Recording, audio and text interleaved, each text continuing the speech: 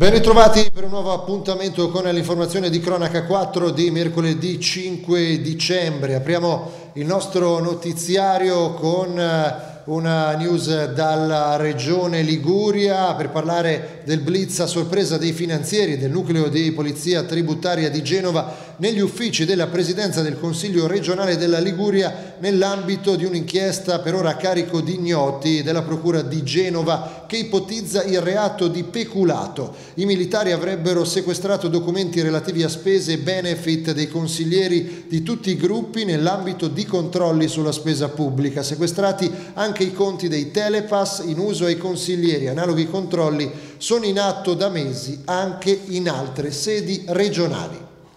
Torniamo nel comune eh, nella zona della Spezia, il comune di Lerici in questo caso, che da qualche giorno è alle prese con un caso davvero particolare, quello delle multe pazze. L'amministrazione lericina oggi ha cercato di fare chiarezza facendo sapere che si tutelerà nelle sedi opportune. Ha raccolto nuovi dettagli Simona Pardini.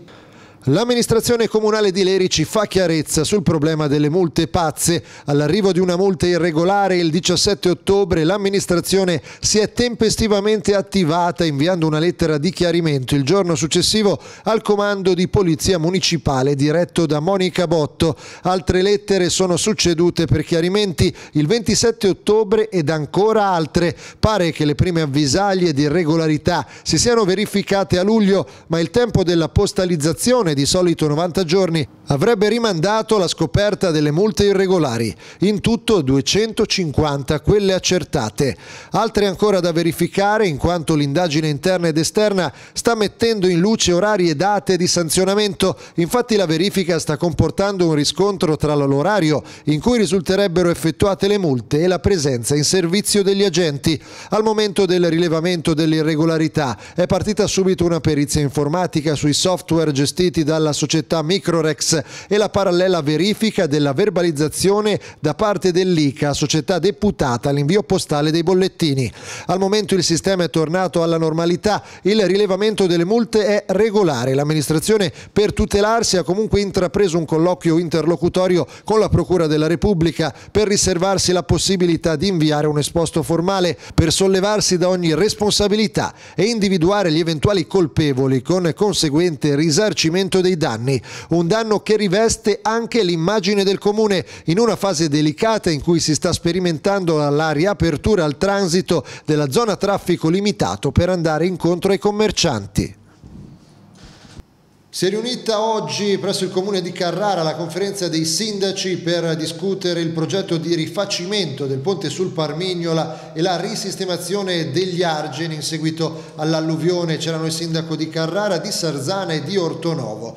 Complessivamente il rifacimento del ponte sul torrente costerà un milione di euro, mentre salvo ritardi i lavori dureranno 150 giorni e se come previsto il comune di Carrara bandirà la gara entro fine anno, il ponte potrebbe essere pronto prima della prossima estate. Fra le criticità emerse la necessità di garantire comunque la mobilità in quella parte del territorio. Per questo la regione Liguria si è fatta carico di sistemare un ponte Bailey costruito temporaneamente su via Marinella un po' più a monte rispetto all'attuale ponte sul Parmignola per garantire la fruibilità della zona al traffico e agli spostamenti.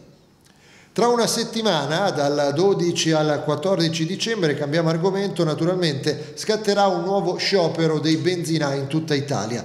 Le pompe di benzina rimarranno chiuse per denunciare la drammatica crisi strutturale che attraversa la distribuzione carburanti e colpisce duramente le migliaia di piccole imprese di gestione, ma la maggior parte dei benzinai sembra essere all'oscuro di tutto, soprattutto di queste motivazioni. Sentiamo. E lo sciopero del 14, parteciperai?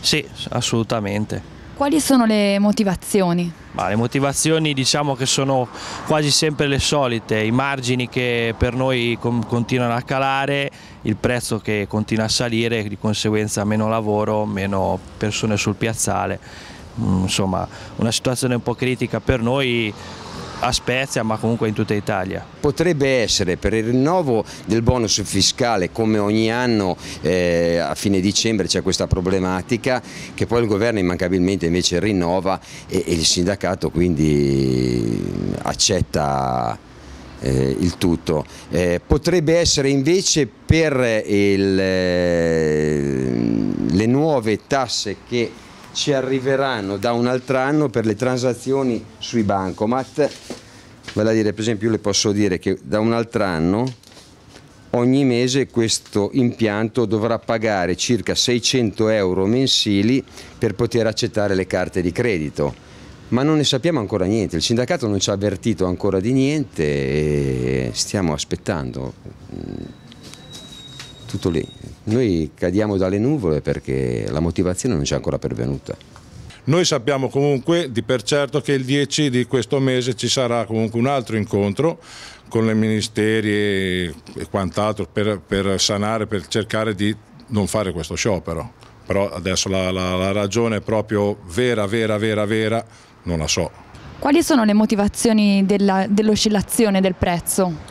Motivazioni non ce ne sono mai, a noi ci dicono che i listini cambiano in continuazione, però vediamo comunque che il prezzo al barile cala, cala ma il prezzo sulla pompa non cala mai, quindi le compagnie eh, decidono per loro quello che devono fare col prezzo.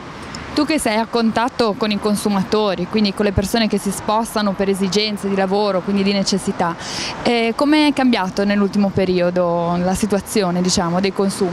È cambiata radicalmente, persone che magari facevano il pieno adesso non lo fanno più, eh, cercano la pompa col prezzo più basso e cercano di fare 20-30 euro, insomma diciamo che siamo in una situazione molto critica. Il rapporto con i margini di guadagno, chiaramente con la benzina il prezzo che è lievitato così tanto, noi abbiamo dovuto espor esporci maggiormente come capitale aziendale, il margine nostro è sempre uguale che è pari circa 4 centesimi al litro i costi di gestione sono aumentati, triplicati rispetto a dieci anni fa e non riusciamo più ad andare avanti, chiaramente è una questione proprio economica. La vostra situazione in generale? Ma la nostra situazione in generale è, come, come, si può dire, giù per i copi, cioè non c'è più trippa per i gatti, noi siamo veramente all'osso e non, non si vede una via d'uscita inventano impianti nuovi, ora non so se avete notato un impianto nuovo che verrà qua aspetta, sarà di quelli Love Coast, al quale sì, eh, sarà un beneficio per la, per la cittadinanza, ma sarà massacrante per noi. Non esiste ad oggi nessun esubero formale né il rischio che i dipendenti non percepiscano lo stipendio. Il rischio che corriamo nel 2013 è il medesimo che corre la maggior parte delle province italiane, il dissesto di bilancio.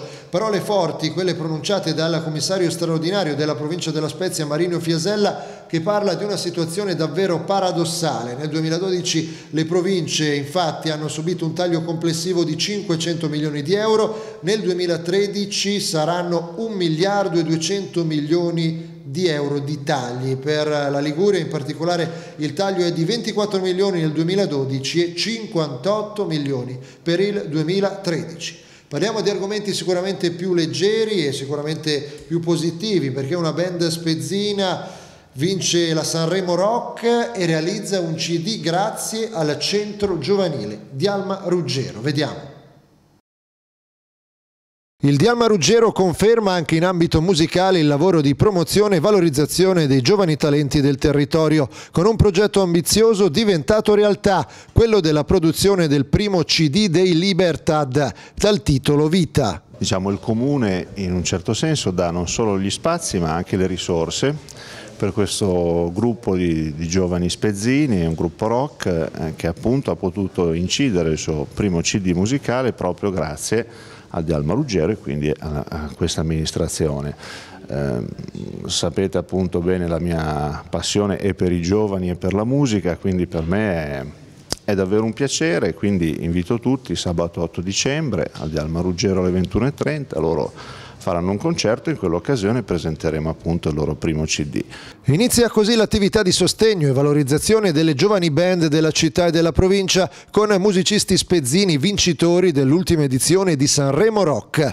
Il lavoro con i Libertad gode di una collaborazione importante Claudio Barone, musicista, musicologo, produttore e direttore artistico dell'Associazione Culturale Iniziative Musicali, ha affiancato i musicisti e lo studio nel percorso di registrazione dei brani. Come nasce la vostra band?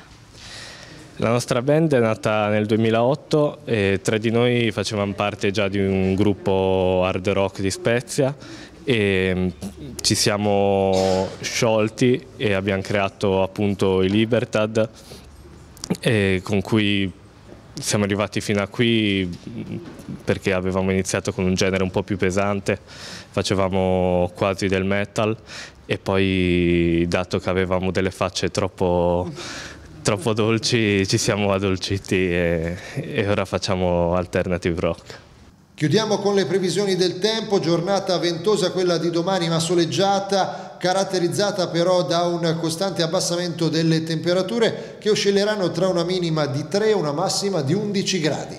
È veramente tutto, vi ricordo che queste altre notizie potete trovarle cliccando sul sito cronaca4.it, da lunedì al venerdì il nostro TG Flash, ma nello stesso tempo il quotidiano scaricabile in formato PDF. Grazie, ci ritroviamo domani.